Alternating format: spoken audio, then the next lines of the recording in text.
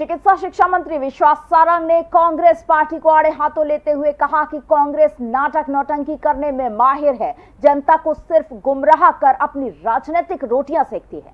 मंत्री विश्वास सारंग ने कहा, कांग्रेस ने अपने गुर्रों को कमाई कराने के लिए मध्य प्रदेश की जनता की जेब में डाका डाला। कोरोना के आंकड़ों पर सारंग ने कहा, हमारी सरकार पारदर्शी सरकार है। हमने किसी भी तरह के आंकड़ों को नहीं छुपाया है।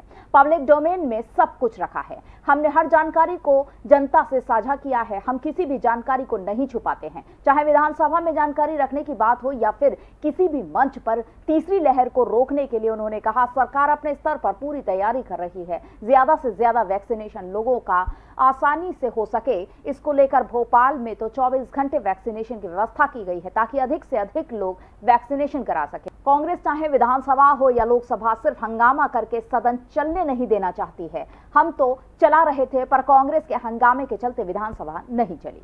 देखिए, सीधी बात है, हमारी सरकार पारदर्शिता पर चलती है। हमने पब्लिक डोमेन में किसी भी जानकारी को नहीं छुपाया है। हमारी सरकार ये सुनिश्चित करती है कि हम पूरी तरह जानकारी जनता के सामने प्रस्तुत करें। हमारी सरकार चाहे विधानसभा में जानकारी देने की बात हो या किसी और मंच पर किसी भी मुद्दे की जानकारी देने की बात हो, उसमें कहीं कोई लाग लपेट नहीं करती, उसको छुपाने का प्रयास नहीं करती। हमने हर समय कोरोना का मामला रहा हो या बाकी कोई मामला रहा हो जनता के बीच में जो सत्य है, उसी को बताया। देखिए राहत पहुँच रही है। हमारी सब योजनाएँ जो जो हमने घोषणा की है, उस पर अमली जामा पहना, पहनाया जा चुका है। मध्य प्रदेश देश का एक ऐसा राज्य है, जिसमें वो बच्चे, जिनके सर से माँ और माता पिता का साया कोरोना के समय उठ गया, उनको पेंशन देने की योजना हमने शुरू की और उस पर बहुत सारे बच्चों को वो मिलना शुरू हो गई। अनुकंपा नियुक्ति हमने दे दी है।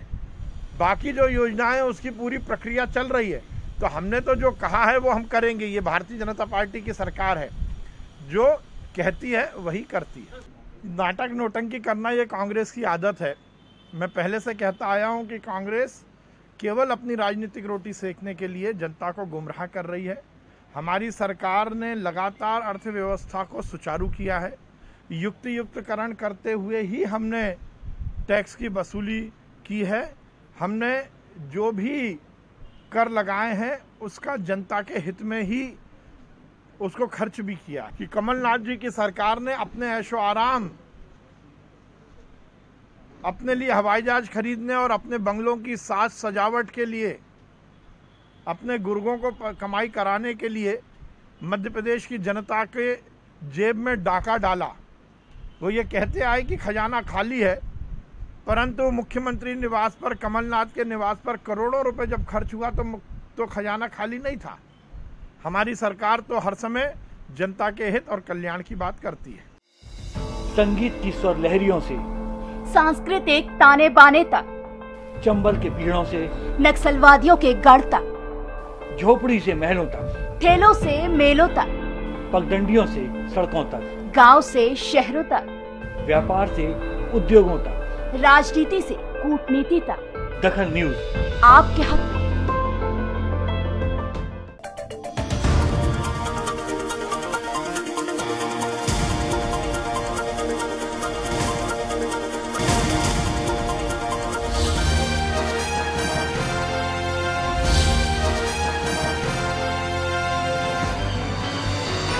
आप देख रहे हैं दखल न्यूज़।